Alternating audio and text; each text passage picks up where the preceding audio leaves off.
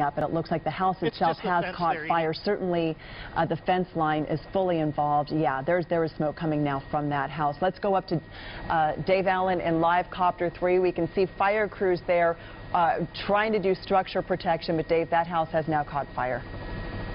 The house has the house has not yet, Edie. That's the fence that's burning there, and it is burning underneath the tree here, so it's kind of hard to tell. So let me get live copter around. Um, I'm on the north side of this house, so you can see that's that's just that fence right now, and there are people that are kind of back there with their garden hoses and all. Um, some of that fence just collapsing as you witness it on your screen there. But back to the left, there was a lot of fuel, and this fire just absolutely took off. And as you can see, it is now kind of threatening that house that's just at the bottom left corner of your screen.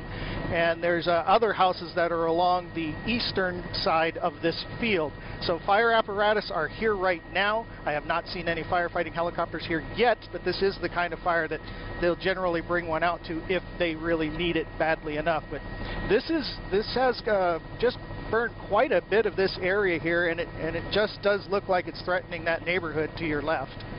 And of course, the importance uh, for the firefighters is to keep those flames out of those trees so that it just doesn't uh, crest and get on the roofs of some of those homes there.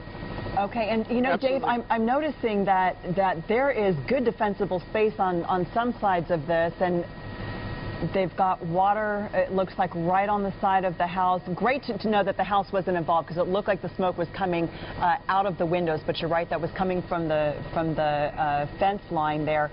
But if you get a wider shot, there is it's just dirt that that is around that grassy field, which is great defensible space for that neighborhood.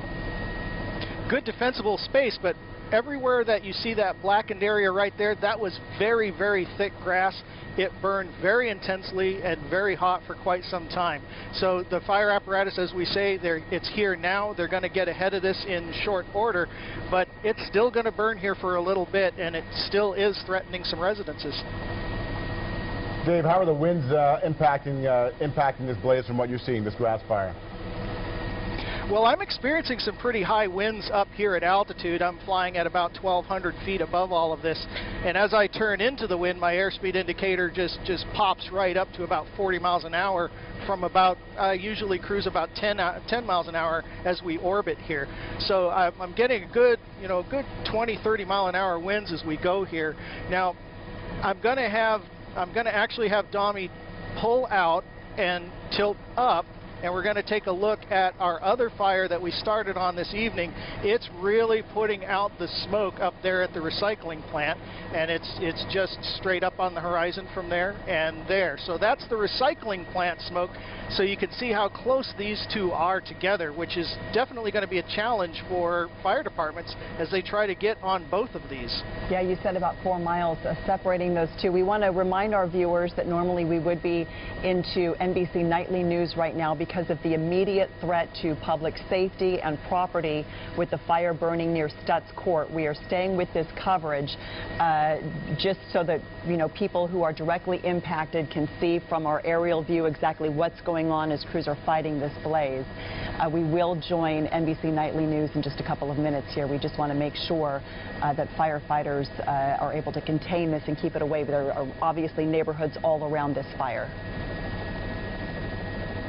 And going back to going back to Dave, can we check in on the house that was most immediately threatened one more time? Again, Right, it was that house that's there you go is that house right there. And we a minute ago saw a firefighter putting water on the north side of that structure. So uh, there's a now we're getting two more apparatus have just showed up. The field tanker has just shown up. So they're they're going to get ahead of this and there. Let me get live copter around here to the north side again and we'll see how they're doing on that house that we're all concerned about here Okay, thank you, Dave. Let's check in with Mark Finan. And, and Mark, you heard Dave talk about those winds uh, at his high altitude. Uh, how do you think it's impacting uh, what's going on there right now? Well, it's certainly enough to give this fire a push. They're out of the uh, west and southwest around 15 to 20 miles an hour. That's a, a map showing uh, where that is. So it's uh, west of Elk Grove, Florin Road, and south of Carlisle uh, in that uh, vacant field that you see right there. So it's a vacant field of a few acres that is burning, and it's you know, close to these homes, as you can see.